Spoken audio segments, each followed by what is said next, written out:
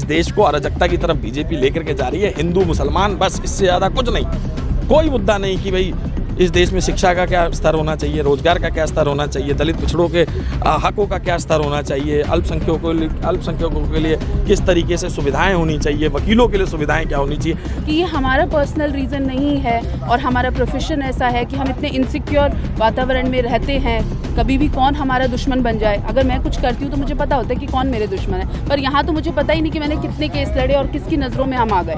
नहीं नहीं judicial system मज़बूत है। हम ये नहीं कह रहे कि मज़बूत नहीं है, पर आप समझिए कि बार बार अटैक करने से कुछ ना कुछ तो प्रॉब्लम हो रही है ना इसी की वजह से। आप समझिए कि सुप्रीम कोर्ट के चीफ जस्टिस ये बात कह रहे हैं कि कानून जो पास किए जा रहे हैं, वो विदाउट डिबेट्स के किए जा रहे हैं। म्यूट तंत्र को हावी कर दिया गया है। जज डरे पड़े हैं। सुप्रीम कोर्ट के जजेस ने पीछे, पिछले दो साल पहले आपको ध्यान होगा कि जजेस ने बैठ करके एक बड़ा एक बड़ा संयुक्त मोर्चा निकाला था कि भाई डेमोक्रेसी को और जज जुडिशरी को अटैक किया जा रहा है। आप ये सिर्फ़ और सिर्फ़ इस देश की जो डेमोक्रेटिक वैल्यूज़ है, उनको मारने के लिए लोगों के ऊपर में अटैक हो रहे हैं। दिल्ली में जंतर मंतर पर इस वक्त मौजूद हूँ, जहाँ पर आज तमाम एडवोकेट्स जो है एडवोकेट्स प्रोटेक्शन एक्ट की मांग को लेकर के आज विरोध प्रदर्शन पर उतरे हैं, सड़कों पर आए हैं, जंतर मंतर पर तमाम एडवोकेट हैं। मेरे साथ में सर हैं, सर, आपका परिचय और आज जो आप मांग, जिस मांग को लेकर आए वो मुद्दे के बारे में। मेरा नाम ओमकर कुशवाहा है। मैं आईवाईसी लीगल सेल में कार्यरत हूँ और काफ़ी पिछले कई सालों से आईवाईसी के लिए काम कर रहा हूँ इंडियन यूथ कांग्रेस के लिए। देखिए एक घटना होती है इस दिल्ली जैसे बड़े शहर में और उस घटना में एक नामी वकील, जो दिल्ली के एक बड़े नामचीन वकील, जिनकी अच्छी प्रैक्टिस, जिनका एक अच्छा हंसता खेलता परिवार, एक अच्छे क्लाइंटेज वो सब उजड़ जाती है, क्योंकि उनके ऊपर एक ऐसा जानलेवा हमला किया जाता है, जिसकी वजह से उनको उनकी मृत्यु हो जाती है। आज उन्नीस स्वर्गीय नरवाल साहब की याद में हमने एक कैंडल कैंडल मार्च कर रखा था और ये नरवाल साहब की फ़ोटो आप देख सकते हैं। हम हम लोग आपको नरवाल साहब से मिलवाते हैं। देखिए कई दिनों से, पिछले कई दिनों से और पिछले कई सालों से जब से भाजपा की सरकार आई है, हमने एक बात नोटिस करी है कि देश के अंदर काफ़ी हद तक इस देश का नागरिक, इस देश का वकील, इस देश का हर कोई वो व्यक्ति जो इस देश को इस देश की लोकतंत्र को बचाने का पूरा प्रयास कर रहा है। ऐसे लोगों को बार बार ऐसे लोगों के ऊपर बार बार दुर्घटनाएँ हो रही हैं उन पर बार बार जानलेवा हमला हो रही है। इसी इसी इसी दौरान एक घटना होती है जिसमें एक एक वकील साहब की मृत्यु हो जाती है। तो इसी बात को लेकर के आज एक कैंडल मार्च कर रखा है हम लोगों ने। क्या होगा इस कैंडल मार्च? इस कैंडल मार्च से एक बड़ा मैसेज जाएगा कि भाई डेमोक्रेसी को बचाने के लिए कुछ लोग हमेशा खड़े रहते हैं और कभी भी जब इतिहास लिखा जाएगा तो ये ज़रूर लिखा जाएगा कि कुछ लोग थे जब ऐसी कोई घटना हुई तो उस घटना के अगेंस्ट में, उस घटना को, उस उस घटना को खंडित करते हुए कुछ लोग मांग कर रहे थे तो उन्हीं लोगों की श्रेणी में एटलीस्ट हम लोगों का नाम ज़रूर लिखा जाए। अगर हमारे अगेंस्ट कुछ हो तो जो भी ऑफेंस या क्राइम हो रहा है, वो कॉग्निजेबल हो। एटलीस्ट हम भी सिक्योर फील करें। सामने वाला बंदा भी सोचे कि ये वकील हैं, इतना इंस्टेंट या इतना ईजी नहीं होगा इनके अगेंस्ट कुछ करना। क्योंकि हमारा कोई पर्सनल रीजंस नहीं है।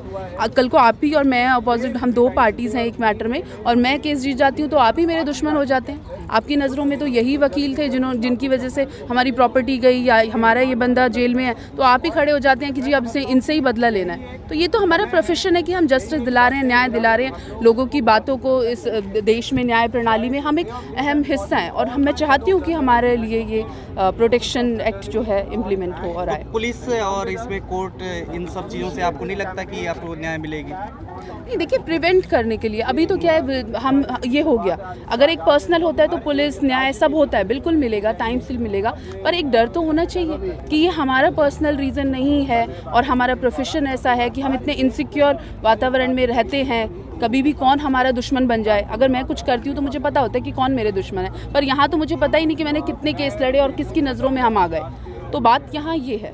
आप इस विषय को क्यों नहीं उठा रहे हैं कि भाई किरण रिजू जी बार बार सुप्रीम कोर्ट के, सुप्रीम कोर्ट में, सुप्रीम कोर्ट के कोलिजियम सिस्टम को लेकर के काफ़ी अटैकिंग मोड पे हैं। आप इस विषय को क्यों नहीं उड़ा, उठा रहे हैं कि इस देश के मुख्य न्यायाधीश इस बात को लेकर के गंभीरता से चर्चा कर रहे हैं कि भाई कानून जो पास हो रहे हैं इस देश के, जो नए नए बिल लाए जा रहे हैं, वो बिना चर्चा के इस देश में लेकर के आए जा रहे हैं, उससे काफ़ी काफ़ी काफ़ी हद तक इस देश की जनता को एक एक बहुत बड़ा नुकसान होता जा रहा है। इस बात को आप लोग क्यों नहीं सोचना चाह रहे हैं? इसी के ऑपोजिट क्या होता है? राजस्थान में इस बात को लेके एडवोकेट प्रोटेक्शन एक्ट को लेके कानून लाया जाता है। एक पॉजिटिव एक पॉजिटिव स्टेप लिया जाता है। उसी तरीके का पॉजिटिव स्टेप क्या हम पूरे देश में नहीं ले सकते? ये सिर्फ़ और सिर्फ़ इस देश की जो डेमोक्रेटिक वैल्यूज़ है, उनको मारने के लिए लोगों के ऊपर में अटैक हो रहे हैं और उन्हीं अटैक्स में जिन, जो मनचले लोग होते हैं, उनमें से किसी मनचले ने हमारे एक साथी जो हमारे साथ कल तक उठते थे, बैठते थे, काफ़ी हमारे साथ खुश होते थे, उनकी खुशी में हम खुश होते थे, उनके दुख में हम दुख दुखी होते थे। उनको ऐसी एक घटना देखने को मिली कि एक पूर्व में पद्धति रहती थी। जब इंदिरा गांधी जी जैसे एक कद्दावर कांग्रेस के नेता को अलाहाबाद हाईकोर्ट ने मना कर दिया तो कर दिया।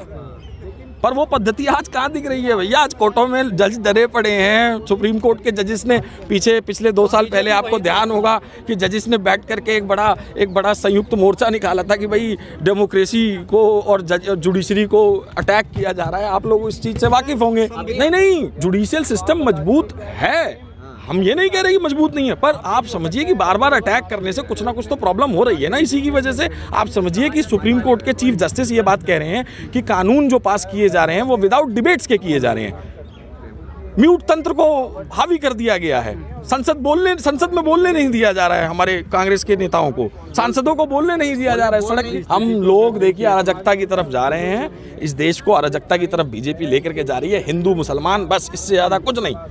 कोई मुद्दा नहीं कि भाई इस देश में शिक्षा का क्या स्तर होना चाहिए रोज़गार का क्या स्तर होना चाहिए दलित पिछड़ों के हकों का क्या स्तर होना चाहिए अल्पसंख्यकों अल्पसंख्यकों के लिए किस तरीके से सुविधाएँ होनी चाहिए वकीलों के लिए सुविधाएँ क्या होनी चाहिए मीडिया के कर्मियों के लिए क्या सुविधाएँ होनी चाहिए इस तरीके की कोई सुविधा पुलिस का डीए नहीं आ रहा। अमित शाह तो कहते हैं लटका के मारेंगे दंगाई मारो जी बहुत अच्छी बात है हम भी कह रहे हैं मांगो दंगाई को मारने में क्या बुराई है?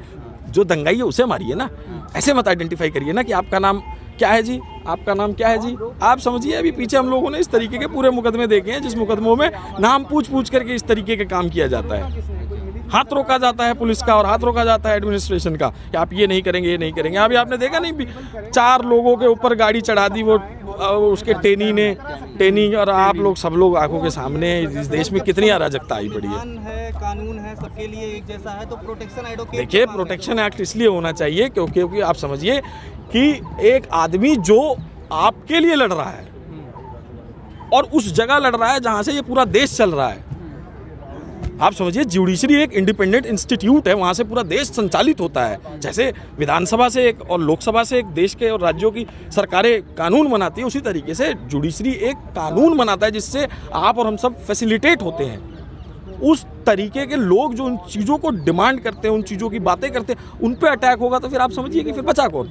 आप लोगों की बातें रखने वाला कोई बचेगा नहीं भाई साहब आप समझिए कि कोर्ट तो में वकील अटैक करते हैं सब पे। कौन? अफवाह तो ऐसी अफवाहों का क्या है? अफवाह तो कुछ भी कर लो आपका अफवाह का अफवाहों के एक हज़ार पैर है उसमें चार आप जोड़ लो। पिछले कुछ दिनों पहले दिल्ली पुलिस के साथ क्या क्या देखो कितने किसने? हमने कुछ नहीं किया था दिल्ली पुलिस और वो जो था वो मामला अभी अभी न्यायाधीश और उसमें एक कमेटी बैठी हुई है वो उसमें पूरी रिपोर्ट देगी उसमें न्याय मांग रही थी सीपी से। मांग रही होगी अच्छी बात है।